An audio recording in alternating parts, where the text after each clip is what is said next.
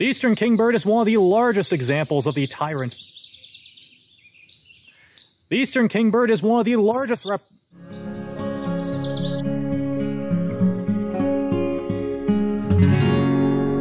Kingbirds are well known for being absolutely unreasonably aggressive, especially when it comes to territory. I personally have seen them pursuing migrating purple martins that were hanging out at least 100 meters above their territory. Our name also comes from that little hidden orange crown on their head. Adorable.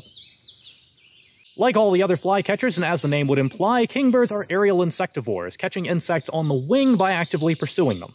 However, not an enormous amount is known about their physiology, mainly because they're maneuverable enough to largely avoid any mist nets. So they're not caught very frequently. That means this guy's quite exciting. Once again, I don't really have much prepared because this capture caught us by surprise and it wasn't one we were expecting.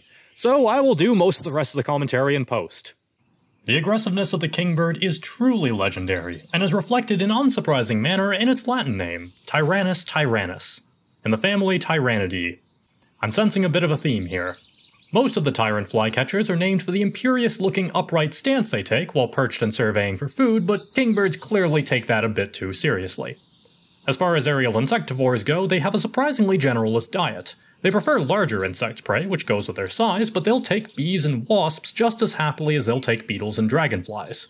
For the most part, they prefer more open habitat with lots of potential perches and can usually be found along fence lines or perched on shrubs. As you may have also noticed, this was a particularly uncooperative bird. Fortunately, I came up with a perfect way to commemorate its imperious demands for release. Enjoy.